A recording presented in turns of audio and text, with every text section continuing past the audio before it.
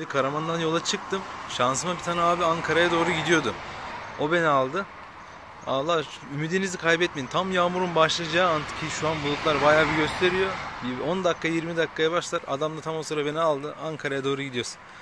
Şu an Ankara'ya doğru yolculuk başladı. Sağ olsun beni bir abi aldı. Onunla beraber. Onunla beraber yolculuk ediyoruz. Allah tam ümidimi kaybetmiştim. Baya yağmur falan yağacaktı. Dedim Ankara'ya kadar gidebileceğim mi gidemeyeceğim mi? Son anda bir abi geldi aldı. Hepinize tekrardan merhaba. Bugün Ankara'ya gittim abi de yorulmuş biraz. Bana arabayı verdi onunla, onunla beraber sürüyoruz şu an. Gidiyoruz Ankara'ya doğru. Evet şimdi otobana gireceğiz hatta birazdan. Hava bulutlu. İlk defa bir otostopta araba sürüyorum ya. Adamı ben getiriyorum şimdi. Otostopçu ben oldum şimdi.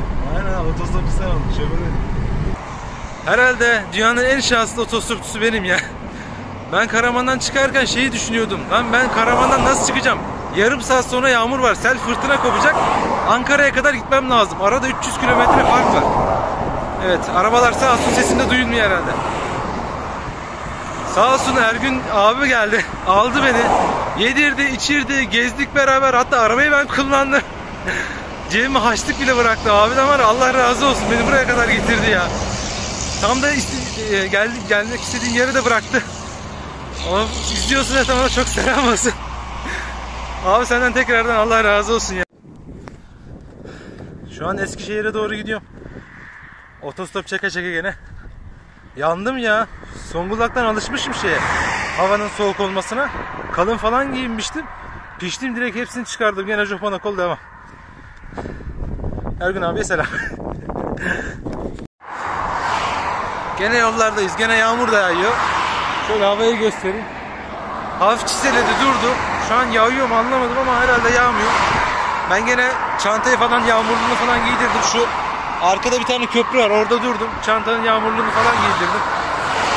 Öyle yola çıktım. Şimdi Ankara'ya abimin yanına gidiyorum. O Ankara'da e, Anıtkabir'de askerlik yapıyor. Ona sürpriz yapmaya gideceğim. Umarım sevinir. Hadi gidelim. Hala otostop çekiyorum da kimse alacak gibi değil ya. En sonunda yürüyorum. Şehir merkezine çok yakınım. 5 kilometre mi ne gözüküyor yani tahmini bir şey. Orada illa minibüs falan vardır. Minibüse bineceğim. Anıtkabir'e kadar gideceğim. Yaklaşık bir 30 kilometre var. Arabayla gidersek.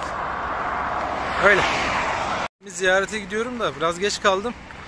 O yüzden ilk defa minibüse bineceğim otobüs e, otostop turumdan. Böyle girişte burada Ankara'nın girişi. Şimdi gidiyorum minibüslerin olduğu yere. Şu ileri tarafta minibüs arabalar falan geçiyor. Oradan geçiyormuş. Ulus'ta in dedi bir tane dayı. Ulus'ta indikten sonra biraz yürürsün. Sonra Anıtkabir'e varırsın. Anıtkabir kaçta kapanıyor, kapanıyor onu da bilmiyorum. İnternetten baktığım kadarıyla göstermiyor. Ve her zaman da açık olabilir. Gidip göreceğiz. Evet Anıtkabir'e son 5-10 dakikalık bir yolum kaldı. Şu an öyle gidiyorum. Ama şu an birkaç tane askerliğe sordum az önce.